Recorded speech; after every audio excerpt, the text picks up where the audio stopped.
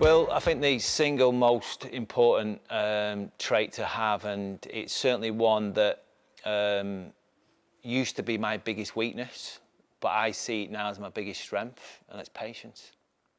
You know, when I when I came out of playing, obviously um, I had a lot of frustration anyway because I lost 10 years of my career. Uh, so I was really, really keen to um, get fully qualified as quick as I can. And then once I was qualified, it was like, right, I'm going to go to the top as quick as I can as well. And, um, you know, I'd work and I'd have ideas in my head and sessions and what I'd want to get out of the sessions. And if the players got, didn't get it, I got frustrated with them very, very quickly.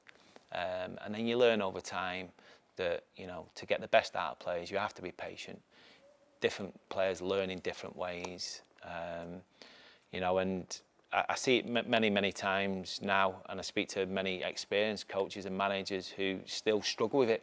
Um, but that would be my, my, my, whether you're taking an under 10s on a, on a Sunday morning or, you know, you're um, a well-established, quite experienced, maybe youth team coach or under 23s coach, thinking about making that step as a, as a first team coach or a, or a first team manager uh, for me, the key is being patient, being patient with the people you're working with and um, never stop learning.